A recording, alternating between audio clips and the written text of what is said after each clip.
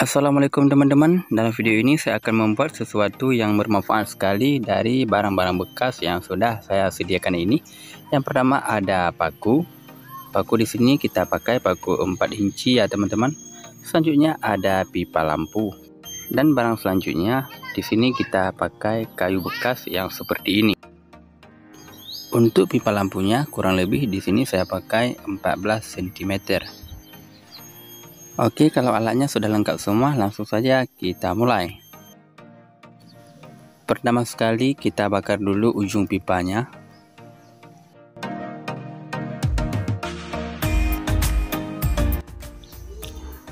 Kalau sudah lembek, langkah selanjutnya kita buat seperti ini ya teman-teman.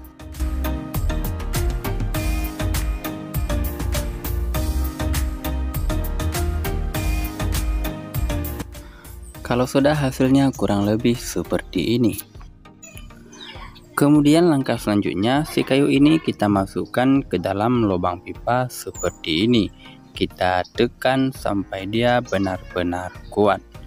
Untuk model kayunya teman-teman buat semakin ke atas dia semakin besar. Gunanya nanti dia akan padat ketika kita masukkan ke dalam lubang pipa seperti ini. Kalau sudah kemudian kita potong di bagian ujung pipa ini.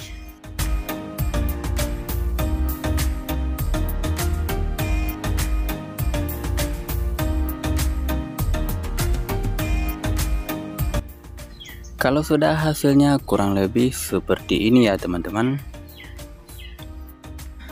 Kemudian langkah selanjutnya, paku yang sudah kita sediakan, kita masukkan ke tengah-tengah kayu seperti ini posisinya. Kalau sudah pas, langsung saja kita tancapkan sekuat mungkin.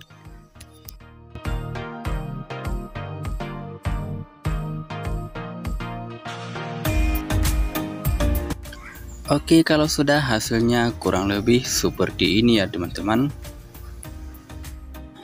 Kemudian langkah selanjutnya kita bakar di bagian ini, di bagian ujung pipa ya. Kita bakar sampai dia benar-benar lembek.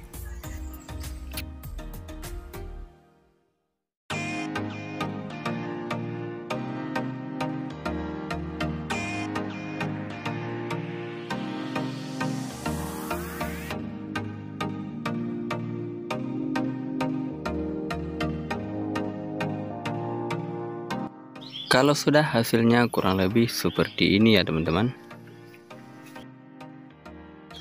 Kemudian langkah selanjutnya kita potong kepala paku tepatnya pas di sini ya teman-teman. Kita potong. Di sini saya memakai mesin gerenda supaya lebih mudah.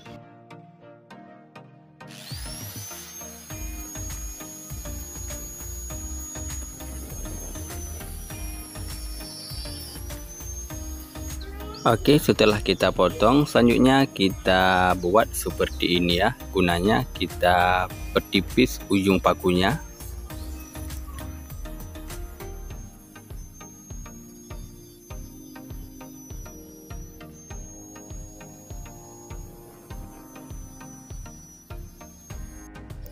Oke kalau sudah hasilnya kurang lebih seperti ini. Ini sudah menjadi satu alat yang sangat berguna ya teman-teman Oke langsung saja saya bagi tahu apa fungsi dari alat ini.